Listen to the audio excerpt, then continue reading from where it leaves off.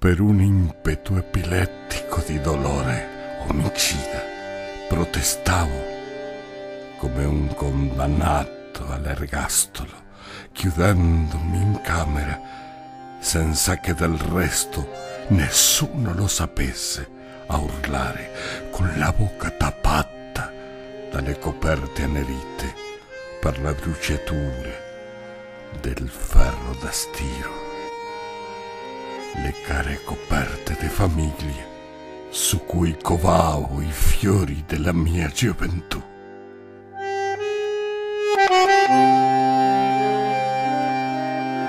E un dopo pranzo o una sera, urlando sono corso per le strade della domenica, dopo la partita al cimitero vecchio, là dietro la ferrovia, a compiere e a ripetere fino al sangue lato più dolce della vita.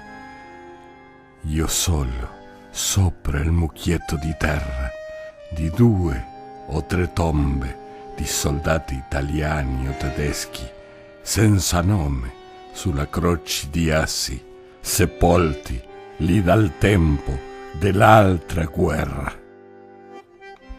E la notte poi, tra la secchia lacrime i corpi sanguinanti di quei poveri ignoti vestiti di pagni grigio verdi.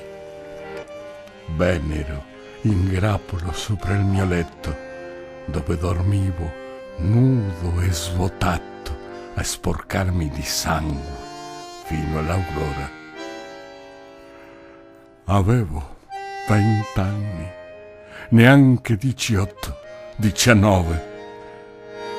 Ed era già passato un secolo da che ero vivo, un'intera vita consumata al dolore della idea che non avrei mai potuto dare il mio amore se non alla mia mano, all'erba dei fossi, o magari al terriccio di una tomba incustodita vent'anni e con la sua storia umana e il suo ciclo di poesia era conclusa una vita.